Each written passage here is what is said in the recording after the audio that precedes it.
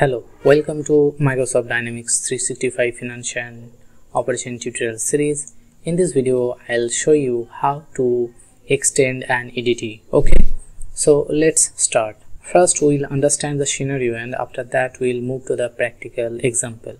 So our scenario is here. The finance and operation app developer has been asked by the fleet management company to change their number entry field on the customer page and they are asking for the agency location code field only accept 12 digit.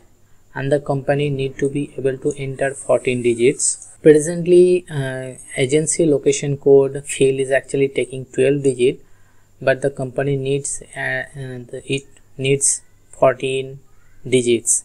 Because the company does not want to create a new field developer will create an extension for the agency location code EDT in the Visual Studio.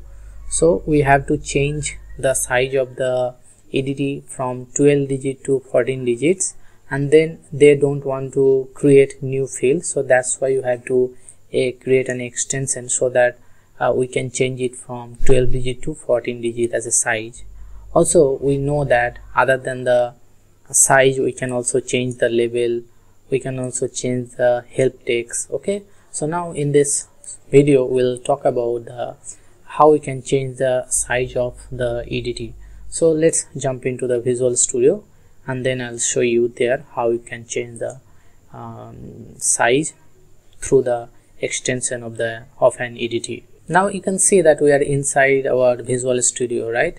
And now we'll uh, click here without uh, code.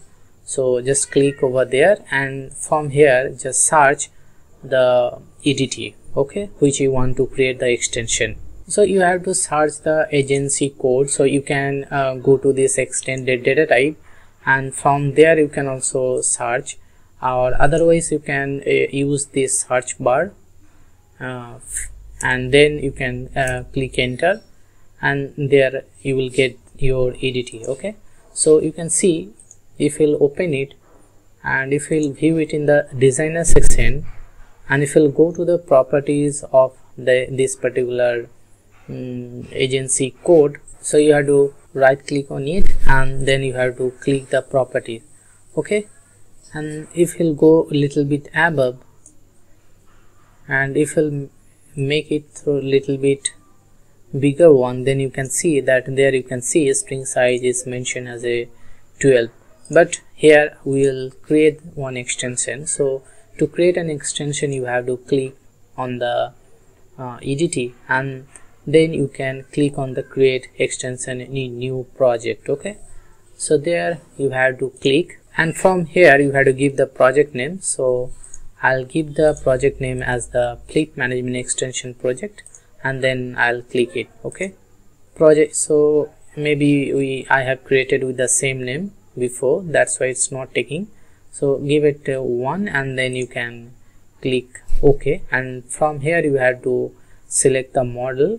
So if your project is working on different pro project and they have created a model then you can select that one. But at this point of time i'll just select this tutorial one for the sample tutorial. Okay and then i have to click ok to create the new project. And in the project you will get your extension. So you can see that our extension added. Now if we'll right click on it okay? So if you right click you can rename it. Uh, so we should not change the uh, the EDT name here. So if you have another model and then you can use that one. So if if you have any other um, naming convention in your project so you have to uh, use that particular for the model okay? Now to change the size you have to open it in the designer mode. And from here you can see that you can change the country region code. Uh, but you cannot edit some features uh, some properties of this EDT extension okay? As you can see that it is also showing the EDT action extension okay?